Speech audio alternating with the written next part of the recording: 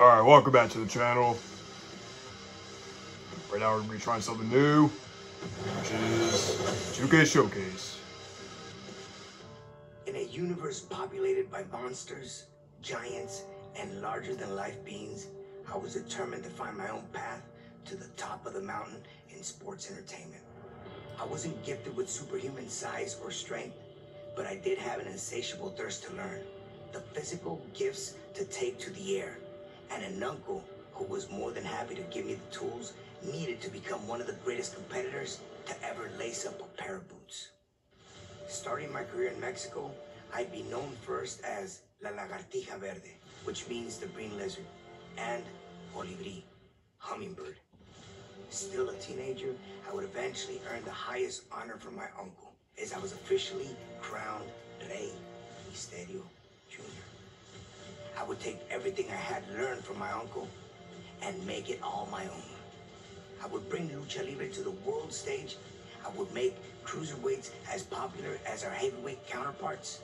And I would prove that a cruiserweight could win it all, as long as they were given the opportunity. I would arrive in America, first stopping in ECW, before garnering the attention from the top people at WCW, who quickly signed me to a contract. With my foot in the door, it was just a matter of time before I took over the world of sports entertainment. Every step, a battle. Every opponent, a new face who felt they were superior to me. Every match, giving me a new objective to strive to meet. Should I try to weaken their legs? Throw all of my aerial techniques at them? Maybe surprise them with some defensive lucha libre? Take it to the outside? Show off my newest move? By the time I got to the ring, I always had a little mental list of things I wanted to try in order to win. And with every victory, I got another reminder that the best was yet to come. After winning WCW's Cruiserweight Championship, Cruiserweight Tag Team Championship, and the World Tag Team Championship, I would finally head to WWE to further build my legacy.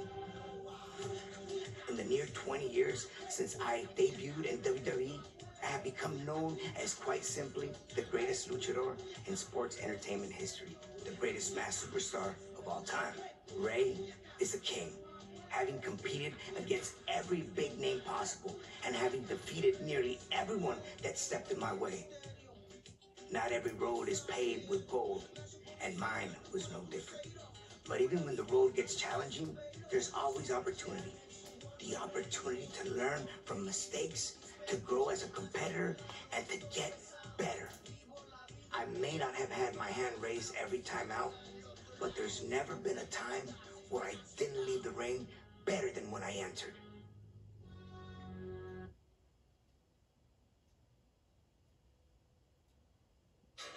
There's the intro for Showcase.